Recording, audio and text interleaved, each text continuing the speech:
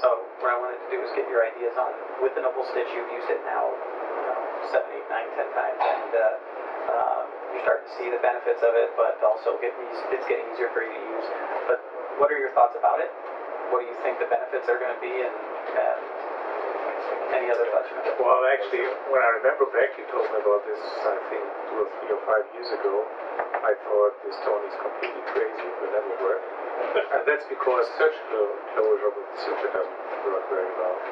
But the system over the years improved so much that it's now, according to my small experience, absolutely reliable, and uh, the results are really surprising good.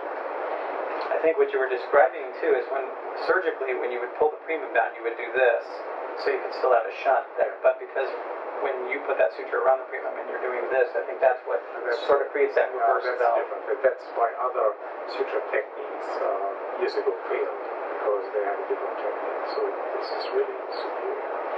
Well, I appreciate that. And then on a go-forward basis, as you look at um, PFOs and then even ASDs, uh, your thoughts about using suture.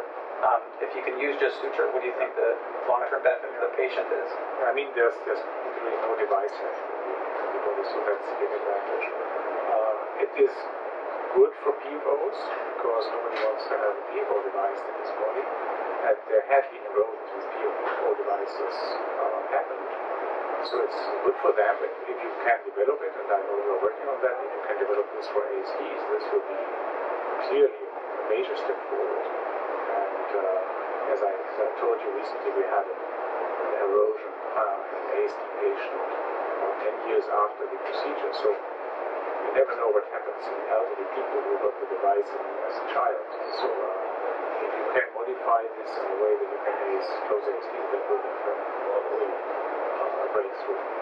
Well, good. And that's that's our goal is to keep doing that.